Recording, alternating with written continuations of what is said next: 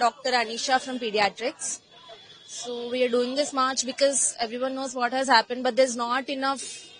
I mean, no one is covering it properly. Non-medicals like literally don't care about it. This has become only a problem of the medical fraternity. It's a girl who has been raped and murdered in her own safe space, which is not okay. We really demand justice. We want the actual perpetrator to be captured. And that is what we're doing this strike for.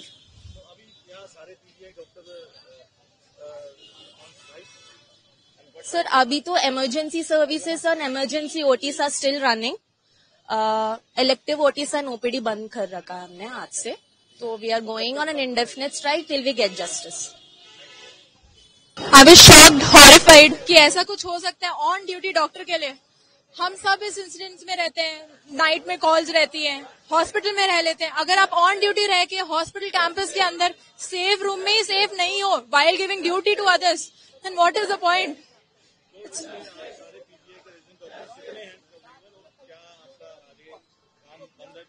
आज हमारा emergency चालू है, उसके अलावा elective awards and OTs वो हमने बंद कर रखा है एंड ओपीडीज हाँ yes we are mobilising everyone from the elective wards and OPDs and OTs but emergency will continue as of now all resident doctors we have inform the nursing officers also we are expecting them to join us along with us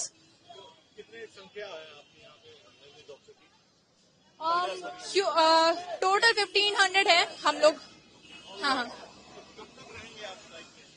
हमारे जब तक मांगे पूरी नहीं हो जाती जो main मांगे वो यही है कि सीबीआई प्रोब हो। एक रीजनल इंसान रीजनल लोग नहीं देख रहे उस ड्यूटी में। सेंट्रल प्रोटेक्शन एक्ट जो डॉक्टर के लिए है वो लागू हो।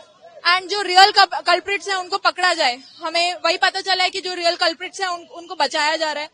तो they should be arrested and proper proceeding should continue